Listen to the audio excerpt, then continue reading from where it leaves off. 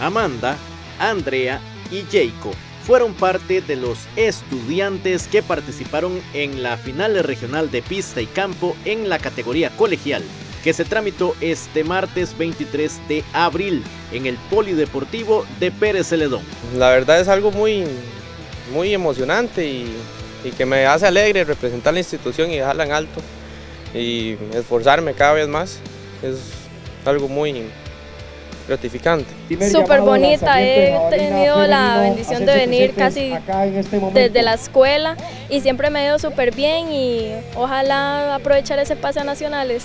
Estas competencias de juegos estudiantiles dejan relatos interesantes, como el caso de Andrea que este es su último año y que desde que estaba en primaria comenzó en el atletismo. Claro, pero de ahí sigo entrenando con el comité y voy a extrañar mucho eh, representar al cole, pero de ahí aquí sí. Eh, desde la escuela, eh, siempre el profe pues, me dio cara de velocista y ahora estoy en lanzamientos y velocidad.